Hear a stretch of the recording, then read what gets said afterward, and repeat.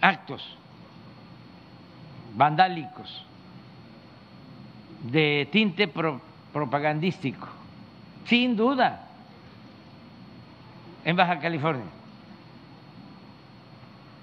Y hacen escándalo nacional, propaganda también en los medios, hasta en el extranjero se enteraron, en Estados Unidos.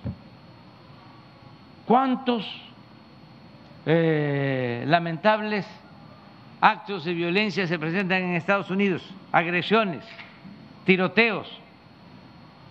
¿Nos enteramos? mandamos nosotros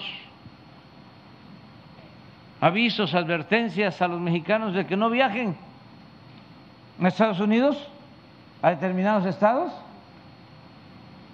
No, porque estamos enfrentando también, al mismo tiempo, pues una campaña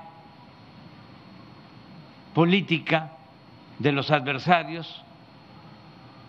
Los conservadores están desesperados, ya no saben qué hacer.